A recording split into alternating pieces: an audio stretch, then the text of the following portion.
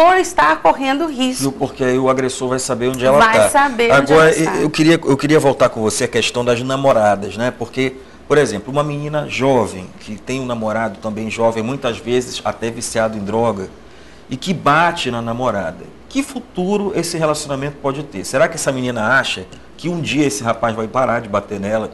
Que se eles casarem, ele vai se transformar numa outra pessoa por encanto? Que de sapo ele vai virar um príncipe encantado, né? Você recebeu lá já meninas que apanham do namorado, que não são casadas, e que essa relação já começa conturbada desde a adolescência, assim, desde o início da juventude? Sim, nós já recebemos casos, né?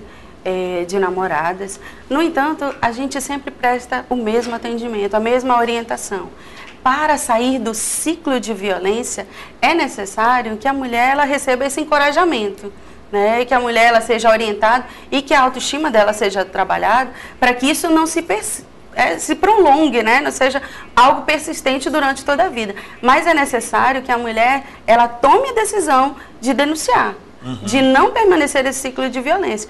Lógico, nós também recebemos vários casos em que as mulheres retornam com o agressor. E até Essa... retiram a queixa, né, em alguns casos.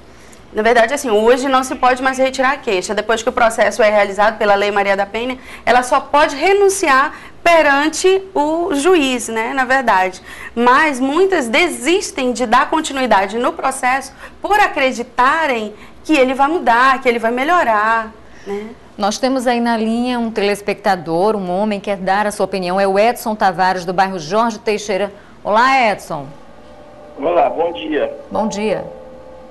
Eu queria dar minha opinião a respeito dessa situação aí, que nem todas as vezes a mulher ela tem a razão sobre essas agressões aí, porque a mulher às vezes ela conhece o homem, ele já bebe, fuma, gosta de festa, gosta da liberdade dele. Muitas das vezes a pessoa sai na, perto da sua vizinhança para beber uma cerveja, aí a mulher chega lá agride o homem também com palavras, chama o cara até de corno, com pau, com vassoura, tá entendendo? Aí começa aquela agressão ali. Muitas das vezes até por interesse financeiro próprio, né? Às vezes ela quer que o cara saia da casa e faz aquela arruaça toda para expulsar o peão. E às vezes nem é o homem culpado dessa agressão, né? Ok, amigo, obrigado. É, inclusive, eu quero até acrescentar o que ele falou, que é, aconteceu agora, nesse momento, lá no Rio de Janeiro, um caso de agressão da mulher contra o homem, né? Aquela, aquela chamada loura do funk, ela, ela queimou, agrediu, bateu e, e, e queimou o marido.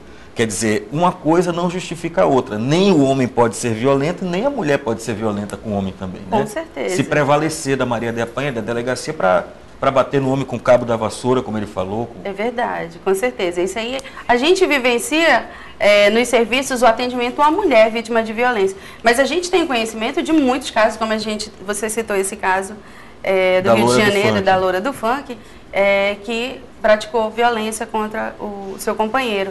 E na verdade, assim, existe, existem casos, mas em uma proporção muito menor.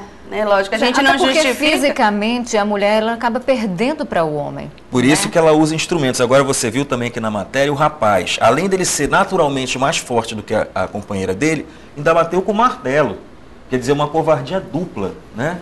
Ele não precisava do martelo para fazer, para causar ferimentos graves na pessoa, mas ainda usou o martelo. Agora, eu, eu acho que o, o, que ele falou tem alguma coisa, eu queria é, debater com vocês que são mulheres. A mulher sabe que, que o cara bebe, que ele gosta de festa, é o que ele falou ali, que ele vive no bar, chega de madrugada em casa, por que, que ela ainda se mete com ele, mesmo sabendo que ele é assim?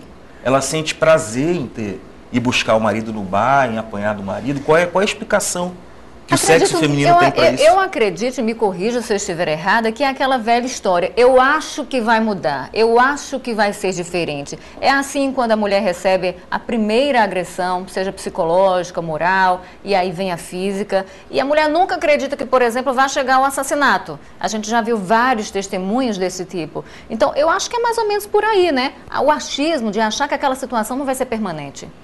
Na verdade, assim, é, nos relacionamentos a gente sempre tem, existe aquela, aquela situação, aconteceu uma vez, a gente perdoa e vai perdoando, só que a situação ela vai crescendo, vai crescendo, e isso acaba, dentro dos estudos né, na, na questão da violência, existe o que a gente chama a, aquela relação de lua de mel, a segunda lua de mel, onde a mulher, depois que passa por uma situação de violência, ele volta, ela volta com ele, achando, aí ele volta hiper carinhoso, atencioso, aí ela começa a achar que ele vai mudar.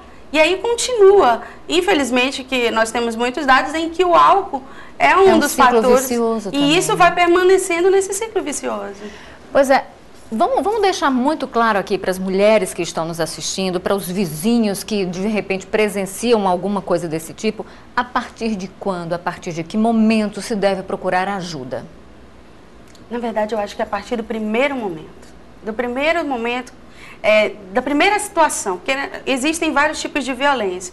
A violência psicológica é aquela que a gente não vê, uhum. Né? Não existem marcas da situação. E que vai direto na autoestima, E que né? vai direto na autoestima e vai minando, vai minando. Existem mulheres que passam anos, como você falou no início, existem mulheres que passam anos no ciclo de violência, de uma violência psicológica e não tem, não tem coragem de denunciar.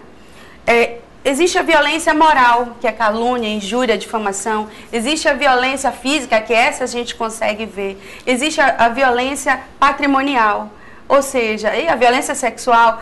É, todos, a partir do momento que a gente identificar uma situação, a mulher já deve procurar. Okay. Para que não, seja, não continue a permanecer no ciclo de violência. E a gente tem rapidinho aqui só o telefone de contato para as mulheres que queiram é, é, ser beneficiadas aí pelo serviço.